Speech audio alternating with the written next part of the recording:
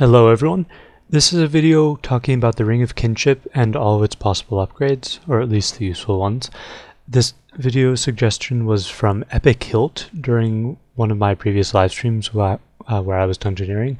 I thought it was a really good idea. So here it is. Um, the Ring of Kinship has 12 different styles that you can upgrade, and each style can be upgraded 10 times. There are specific situations where some styles might be useful, uh, for example, using the tank ring as a pure to reduce damage, but I'm going to talk about the ones that are used in general for your average dungeoneer. So the first two are pretty much equivalent, but one is for melee and one is for range.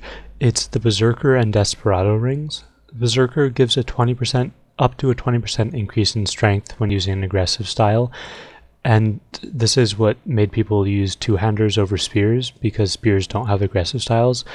Uh, and Desperado gives you a 20% range level boost when using Rapid Stance, and it's really amazing for the Hex Hunter bow. But if you don't have a Hex Hunter bow, you really shouldn't be ranging in general, so it's not quite all that useful. Because, yeah, hexes, I guess they aren't all that rare anymore, but they were pretty rare uh, for a while. Uh, so, yeah, those are really good. Uh, Berserker is by far the most used ring in Dungeoneering. Everyone uses Berserker pretty much. So besides those, there's the Blazer Ring, which has a has a 50% uh, chance when it's fully upgraded to deal 50% extra damage over time while using elemental spells, and this is quite good. It's also uh, the Blazer Ring is comparable to the Blitzer Ring. Blitzer makes you cast faster, uh, but Blazer gives you extra damage. Uh, mathematically, they come out to be about the same, but Blitzer is actually slightly faster, I believe. But I recommend using Blazer instead, just because you don't use up as many runes, because it, yeah, you don't have the increased casting speed. So yeah, I'd go with Blazer. And then the final ring is Gatherer, which has a 50% chance when it's fully upgraded to get extra resources and have damage reduction when failing on skill tasks. So that's like skill doors where you can take like 500 damage if you get hit by something. So that's a nice one to have if you're running through a bunch of doors. It's also especially nice on that uh, mining room with the uh, the rocks that fall from the ceiling where you can get hurt a ton. It's also worth noting that the Gatherer's Ring does not increase the experience you get from resources. So if you were to get double resources, you wouldn't get double experience from them. So just something to know. Don't want people buying it and expecting more experience. Um, yeah, so those are the main ones. You can also, uh, when you're in the screen where you upgrade them, if you right click where it says switch to, you have an option to do a quick switch. So if you have something selected and something on quick switch, and then normally when you're dungeoneering, you can switch in between them by right clicking the ring and doing quick switch. So yeah, that's really convenient. Personally, I switch between Berserker and Gatherer, but if I had a Hex Hunter bow, I'd be switching between Berserker and Desperado, or if I had a Surge box, I'd do Berserker and Blazer. So yeah, it's just whatever gear you have or whatever you're doing.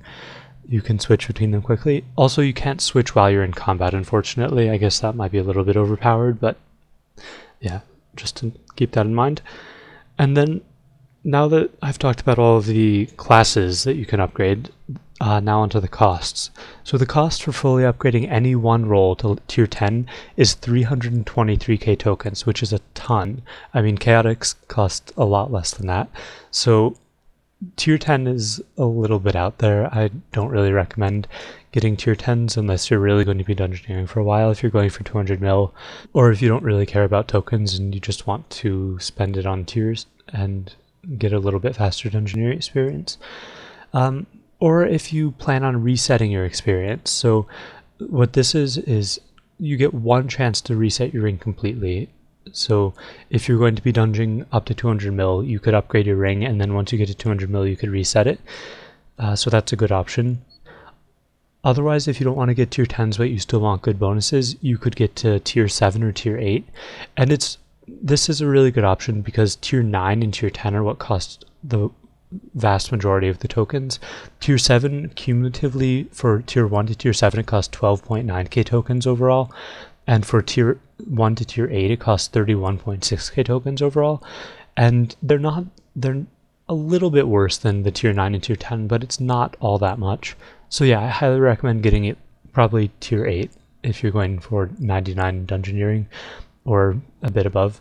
If you're going for 120 then maybe tier 9 Uh, but yeah, that's a good option, tier 7 or tier 8, and in Berserker, Desperado, Blazer, or Gatherer, or uh, multiple ones depending on what you do. Um, so yeah, that's everything for the ring upgrades. Now onto an Easter egg, or a couple Easter eggs for the rings. First off, if you use a ring on the fire in Daemonheim, uh, uh, you can just look on the screen here. Uh,